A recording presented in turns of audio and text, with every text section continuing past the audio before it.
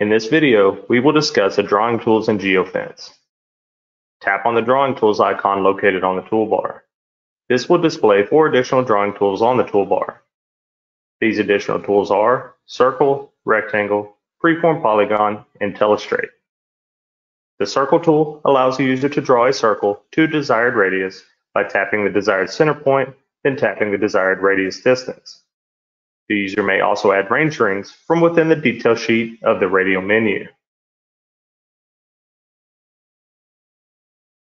The rectangle allows the user to draw a rectangle to a desired area using a three-point entry on the map. This can create a square or rectangle shape based on the depth placement. Each line is 90 degrees perpendicular to the adjacent connected line. Freeform polygon allows the user to create a polyline of any number of straight segmented edges by using a multi-point selection to a desired area. Telestrate allows the user to create a free-flowing line or freehand drawing of any shape at the user's discretion. The Telestrate tool would display an additional toolbar for the user to manipulate as desired. Note, the map screen cannot be adjusted while Telestrate is activated. The user must tap on the Telestrate tool again to pause the telestration in order to manipulate the map screen. Once adjusted, simply tap on the Telestrate tool again to continue the use of the tool.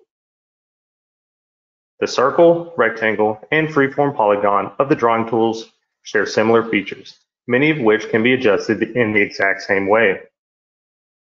Tap on the created rectangle to access the radial menu. The rectangle tool radial menu contains the following slice options.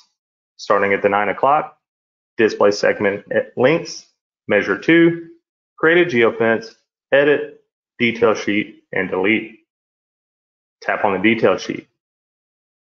In the details page, the user can change the rectangle's name, the center grid reference, view the area of the rectangle, set elevation, show labels and tactical overlay, change the color, adjust opacity, and add remarks specific to the shape. The user may also send and attach files to each shape. Tap the persistent back. A geofence can be added to the circle, rectangle, and freeform polygon using the radial menu. Telestrate cannot be used to make a geofenced area. Note, the freeform polygon must be a closed polyline in order to create a geofence. A geofence is a digital fence on a digital map. It is used to track the entry and exit of a desired marker or user.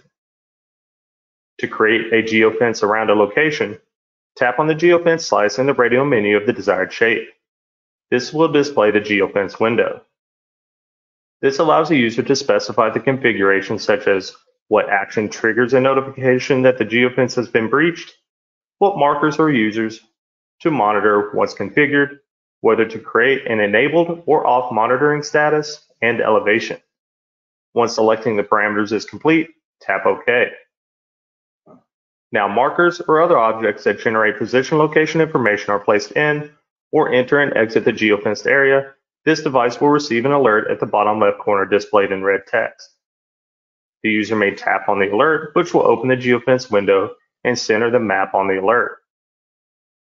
To manage geofences, Tap on the Additional Items menu and select GeoFence. In this window, the user may manage all created geofences that are displayed. The triangle symbols are colored to match the status of the geofence state. If they are green, then they are actively monitoring and have not been breached. If they are gray, they are not monitoring. If they are red, there is an active alert for that geofence.